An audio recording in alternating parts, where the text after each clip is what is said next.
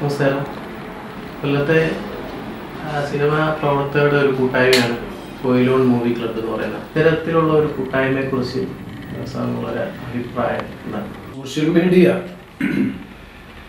ആധുനിക കാലഘട്ടത്തിൽ ഏറ്റവും കൂടുതൽ ആശയ സംവാദത്തിന് ഉപകരിക്കുന്ന വേദികളിലൊന്നാണ്.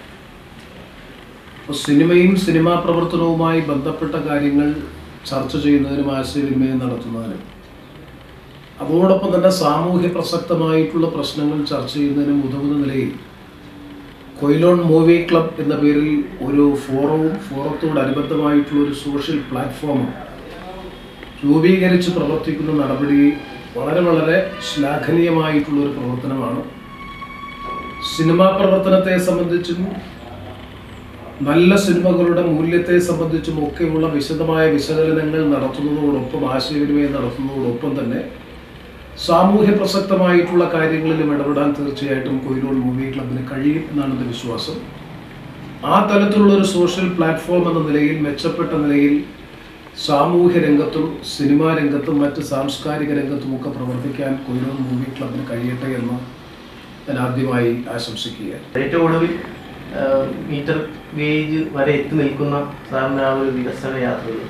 ഈ മീറ്റർ ഗേജ് ആ ഒരു പദ്ധതിയുടെ സാക്ഷാത്കാരത്തിന് വേണ്ടിയുള്ള മുന്നൊരുക്കങ്ങൾ ആ പ്രിപ്പറേഷൻ അതിനെ കുറിച്ചൊന്ന് പറയാം സി, ഈ പാർലമെന്റ് അംഗം എന്ന നിലയിൽ രണ്ടായിരത്തി പതിനാല് മുതൽ പതിനെട്ട് വരെയുള്ള ഈ നാല് വർഷക്കാലത്തെ പ്രവർത്തനത്തിൽ എന്നെ സംബന്ധിച്ചിടത്തോളം അഭിമാനകരമായ നേട്ടം എന്ന് വ്യാഖ്യാനിക്കാൻ വിലയിരുത്താൻ കഴിയുന്ന വികസന സംരംഭങ്ങളിലൊന്നാണ് ചെങ്കോട്ട പുനലൂർ കയറ്റുമാറ്റ പ്രക്രിയ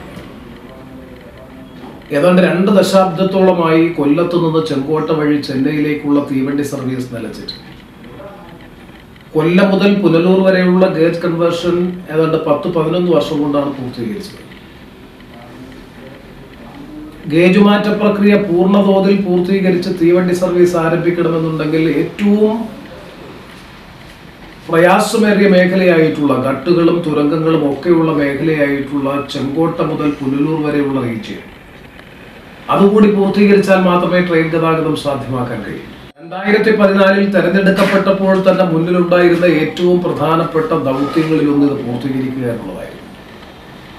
രണ്ടായിരത്തി പത്തിലാണ് ഇതിന്റെ പ്രവർത്തനം ആരംഭിച്ചത്. നിർഭാഗ്യവശാൽ നാമമാത്രമായ തുകയാണ് ഈ പദ്ധതിക്ക് വേണ്ടി കാലാകാലങ്ങളിൽ നീക്കി വെച്ചിരുന്നത് എന്നാൽ രണ്ടായിരത്തി പതിനാല് മുതൽ പതിനെട്ട് വരെയുള്ള കാലയളവിൽ മതിയായ ബഡ്ജറ്റ് വിഹിതം സാധ്യമാക്കുന്നതിലും ആ പ്രവർത്തനങ്ങൾ നിരന്തരമായി മോണിറ്റർ ചെയ്യുന്ന കാര്യത്തിൽ ഞാൻ ഒരു ഡസനിലധികം പ്രാവശ്യമാണ് കൊല്ലം പുനലൂർ ചെങ്കോട്ട റീജിയൻ നേരിട്ട് ഡി ആർ എം ഉൾപ്പെടെ ജി എം ഉൾപ്പെടെയുള്ള റെയിൽവേയുടെ കൺസ്ട്രക്ഷൻ വിഭാഗത്തിന്റെ ഉദ്യോഗസ്ഥന്മാരും ഓപ്പൺ ലൈൻ ഉദ്യോഗസ്ഥന്മാരും ഉൾപ്പെടെയുള്ളവർ നേരിട്ട് റെയിൽവേ സ്റ്റേഷനുകളും തീവണ്ടിപ്പാതയും സന്ദർശിച്ച് പ്രവർത്തനം പുരോഗതി വിലയിരുത്തിയാണ് ഒരു ഡസനിലധികം പ്രാവശ്യമാണ്.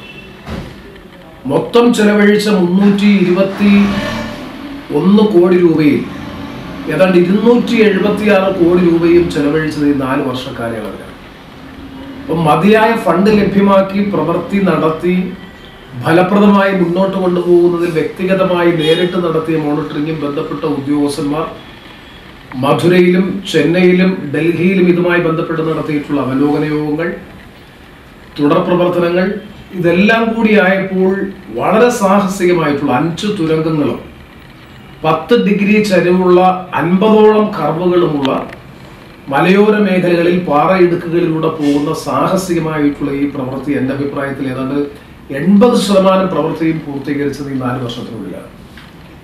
അങ്ങനെ ശ്രമകരമായ ഒരു പ്രവർത്തനത്തിന് റിസൾട്ട് ഉണ്ടായി ഫലമുണ്ടായി എന്നുള്ളതാണ് ഏറ്റവും വലിയ ചാരിതാർത്ഥ്യം. അതിന്റെ അടിസ്ഥാനത്തിലാണ് ഇപ്പോൾ കൊല്ലം ചെങ്കോട്ട ചെന്നൈ സർവീസ് നമുക്ക് ആരംഭിക്കാൻ കഴിഞ്ഞത്. ഇത് കൊല്ലത്തിന്റെ സർവതോമുഖമായിട്ടുള്ള വികസനത്തിന് വലിയ സഹായം ചെയ്യുന്ന ഒരു സംരംഭമാണ്. കാരണം നൂറ്റി ഇരുപത് വർഷത്തെ പഴക്കമുള്ള ട്രഡീഷണൽ റെയിൽ ലൈനാണ് സത്യത്തിൽ കൊല്ലം മുതൽ ചെന്നൈ വരെ ചെങ്കോട്ട വഴിയുള്ള ഈ തീവണ്ടിപ്പാത. നിരവധി പുതിയ സർവീസുകൾ നമുക്കിനി ആരംഭിക്കാൻ കഴിയും. ഏതാണ്ട് മൂന്ന് നാല് മണിക്കൂർ ചെന്നൈയിൽ പോകുന്നതിന് ലാഭിക്കാൻ കഴിയും. അതുപോലെ പുതിയ തീവണ്ടി സർവീസുകൾ ധാരാളം ആരംഭിക്കാൻ കഴിയും ഇപ്പോൾ താമ്പരത്തു നിന്ന് കൊല്ലത്തേക്കുള്ള ആദ്യത്തെ എക്സ്പ്രസ് തീവണ്ടി ഓടി തുടങ്ങി. ഇനി നിരവധി പുതിയ തീവണ്ടികളുടെ സർവീസ് ആരംഭിക്കാനും ചരക്ക് ഗതാഗതം വർദ്ധിപ്പിക്കാനും. അതുപോലെ തന്നെ ടൂറിസം മേഖലകളിൽ ഇക്കോ ടൂറിസവുമായി ബന്ധപ്പെട്ട് പ്രകൃതി രമണീയമായ മനോഹരമായ കാഴ്ചയാണ് ഈ തീവണ്ടി പാതയിലൂടെയുള്ള യാത്ര. അങ്ങനെ ഒരുപാട് സവിശേഷതകളുള്ള ഒരു ട്രഡീഷണൽ റെയിൽവേയിലെയും രണ്ട് ദശാബ്ദക്കാലമായി പ്രവർത്തനം നിലച്ചു നിന്നത് നിർമ്മാണം പൂർത്തീകരിച്ച് കൊല്ലം മുതൽ ചെന്നൈ വരെ സർവീസ് ആരംഭിക്കാൻ കഴിഞ്ഞത് ഈ നാല് വർഷക്കാലം നടത്തിയ നിരന്തരമായ പ്രവർത്തനത്തിലൂടെ ആർജിക്കാൻ കഴിഞ്ഞ പ്രധാനപ്പെട്ട നേട്ടമായിട്ടാണ് ഞാൻ വിലയിരുത്തുന്നത്. അതിനുള്ളൊരു വലിയ അംഗീകാരം തന്നെ ലഭിച്ചു. കേരളത്തിലെ മലയാളത്തിലെ മുഖ്യധാര ദിനപത്രങ്ങൾ പോലും.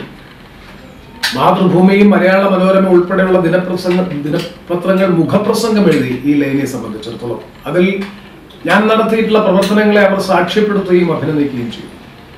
അപ്പൊ കൈവരിക്കാൻ കഴിഞ്ഞ ഏറ്റവും പ്രധാനപ്പെട്ട നേട്ടങ്ങളിൽ ഒന്ന് എന്ന് വിശേഷിപ്പിക്കാൻ കഴിയുന്നതാണ് കൊല്ലത്തിന്റെ തമിഴ്നാടുമായിട്ടുള്ള വ്യാപാര വാണിജ്യ ബന്ധം മെച്ചപ്പെടുത്തുന്നതിനും അതുവഴി ഒരുപാട് നേട്ടം കൊല്ലത്തെ സംബന്ധിച്ചിടത്തോളം സാധ്യമാകുന്നതിനും കഴിയുന്ന ചെന്നൈയിലേക്കുള്ള കേരളത്തിൽ നിന്നുള്ള മൂന്നാമത്തെ തീവണ്ടി പാതയാണ്.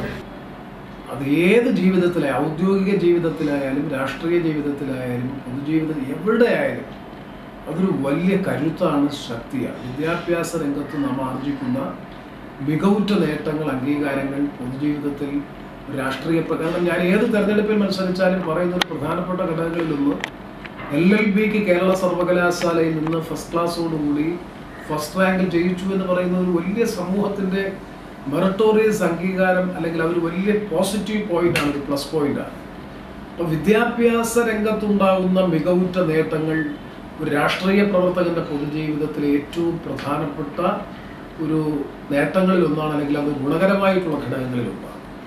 ഈ വായനയുടെ ആ ഒരു ഈ പ്രയാണത്തിൽ എനിക്ക് തോന്നുന്നു ഏറ്റവും കൂടുതൽ കരുത്താകുന്ന വായനയുടെ ഒരു പിൻബലം വലുതാണ്. ഇവിടെ കാണുന്ന ഇത്രയും പുസ്തകങ്ങളുടെ വലിയൊരു ശേഖരം തന്നെയുണ്ട്. ആ വായനയുടെ കരുത്ത് അല്ലെങ്കിൽ ഞങ്ങളെ പോലുള്ള ഈ പുതിയ തലമുറയ്ക്ക് ആ വായനയുടെ ഒരു ഒരു ചോഷണം സംഭവിച്ചിട്ടുണ്ടോ? ഇന്നിന്റെ തലമുറയോട് ഈ വിശുദിനത്തിൽ എന്താണ് ഈ പറയാനുള്ളത്? See, വളരെ പ്രധാനപ്പെട്ടതാണ് ഒരു ആധുനിക കാലഘട്ടത്തിൽ വാട്സാപ്പും ട്വിറ്ററും ഇൻസ്റ്റഗ്രാമും ഫേസ്ബുക്കും ഈ തരത്തിലുള്ള നവ സാമൂഹ്യ മാധ്യമങ്ങളിലൂടെയാണ് വായന പ്രധാനമായും പുതിയ തലമുറ ഉൾക്കൊള്ളുന്നത്. അതൊരിക്കലും നിരാകരിക്കണം നിഷേധിക്കണമെന്ന് ഞാൻ പറയുന്നില്ല. പക്ഷേ നമ്മുടെ സാഹിത്യ പ്രസിദ്ധീകരണങ്ങളും പുസ്തകങ്ങളുടെ വായന അതിലൂടെ ലഭിക്കുന്ന ഒരു എന്താണ് അനുഭവം? മറ്റു മറ്റേതൊരു മാധ്യമത്തിൽ നിന്ന് ലഭിക്കുന്നതിനേക്കാൾ വ്യത്യസ്തമാണ്. നിർഭാഗ്യവശാൽ ഇന്ന് പുസ്തകങ്ങളോട് വിട പറയുന്ന ഒരു സ്ഥിതിയാണ്. നോവലും കഥയും കവിതയും യാത്രാ വിവരണവും ഉൾപ്പെടെയുള്ള ലേഖനങ്ങളുമൊക്കെ വായിക്കുന്നതിന് വ്യത്യസ്തമായി റെഡിമെയ്ഡായി ലഭിക്കുന്ന പോസ്റ്റുകളിൽ നിന്ന് ലഭിക്കുന്ന വിവരങ്ങൾ കൊണ്ട് മാത്രം നമ്മുടെ ബൗദ്ധിക തലം പരിമിതപ്പെടുന്ന ഒരു അവസ്ഥയാണ്. അതൊരു അപകടകരമായിട്ടുള്ള സ്ഥിതിയാണ്. കാരണം നിങ്ങളുടെ മനസ്സ് അല്ലെങ്കിൽ നിങ്ങളുടെ ബുദ്ധി ഫിലിം പഠന ഇൻസ്റ്റിറ്റ്യൂട്ടുകൾ അല്ലെങ്കിൽ ഫിലിം ഇൻസ്റ്റിറ്റ്യൂട്ടുകൾ വളരെ പരിമിതമായി മാത്രമാണ്.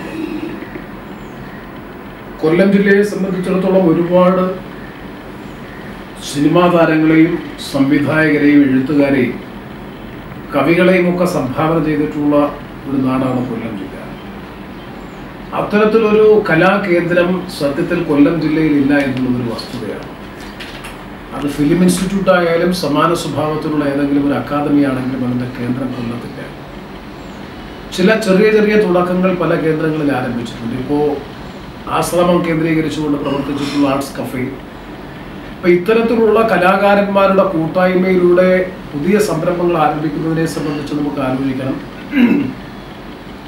അതിൽ നിർദ്ദേശിക്കാൻ കഴിയുന്ന ഒരു കാര്യം തന്നെയാണ് ഫിലിം പഠനവുമായി ബന്ധപ്പെട്ടുകൊണ്ട് അല്ലെങ്കിൽ ടി വി സ്ക്രീനുമായി ബന്ധപ്പെട്ടുകൊണ്ടുള്ള അത്തരത്തിലുള്ള ഒരു ഇൻസ്റ്റിറ്റ്യൂട്ട് അല്ലെങ്കിൽ ഒരു പഠന കേന്ദ്രം ആരംഭിക്കുന്നത് ആലോചിക്കേണ്ട വിഷയമാണ്. നിർദ്ദേശിക്കാൻ കഴിയുന്ന ഒരു പ്രധാനപ്പെട്ട നൂതന സംരംഭമാണ് തീർച്ചയായും ആ കാര്യത്തെ സംബന്ധിച്ച് ആലോചിക്കാവുന്നതാണ്. പ്രേക്ഷകർക്ക് പി എം സിയുടെ പ്രേക്ഷകർക്ക് കൊല്ലത്തെ പ്രബുദ്ധരായ ജനങ്ങൾക്ക് ഒരു വിശ്വാസം. ഐശ്വര്യത്തിന്റെയും സമ്പൽ സമൃദ്ധിയുടെയും നാളുകളാണ് വിഷു. വിശ്വാസപരമായ ഐതിഹ്യമാണെങ്കിലും നന്മയും സാഹോദര്യവും സൗഹൃദവും ഐശ്വര്യവും സമൃദ്ധിയും ഒരു നാടിന്റെയും ഒരു ജനതയുടെയും ആവേശമാണ് അല്ലെങ്കിൽ അവരുടെ ഒരു പ്രചോദനത്തിന്റെ പ്രധാനപ്പെട്ട ഘടകങ്ങളാണ്. അത് പ്രദാനം ചെയ്യുന്നു എന്ന് വിശ്വസിക്കുന്ന വിഷു ഇന്ന് നിലനിൽക്കുന്ന പ്രതിസന്ധിജനകമായിട്ടുള്ള വർത്തമാനകാല സാമൂഹ്യ സാഹചര്യത്തിൽ മതപരവും സാമുദായികവുമായ വിഭാഗീയതയും വിവേചനവും ശക്തിയാർജിച്ചുകൊണ്ടിരിക്കുന്ന ഒരു കാലഘട്ടത്തിൽ അതിനെയൊക്കെ അതിജീവിച്ച് മുന്നോട്ട് പോകാൻ സൗഹൃദവും സാമുദായികേതരമായ സാഹോദര്യവും ഊട്ടിയുറപ്പിക്കാൻ കഴിയുന്ന വിശേഷാൽ ചടങ്ങുകളിൽ ഒന്നായി ഈ വർഷത്തെ വിഷുദിനം മാറണം അങ്ങനെ മാറട്ടെ എന്ന് ഈ അവസരത്തിൽ ആത്മാർത്ഥമായി ആഗ്രഹിക്കുന്നു. കൊയിലോൺ മൂവി ക്ലബിന്റെ സകല അംഗങ്ങൾക്കും പ്രേക്ഷകർക്കും അതുപോലെ തന്നെ കൊല്ലം ജില്ലയിലെ മുഴുവൻ ജനങ്ങൾക്കും എന്റെ ഹൃദയം നിറഞ്ഞ നന്മയാർന്ന വിഷുവാശംസകൾ അർപ്പിക്കുന്നു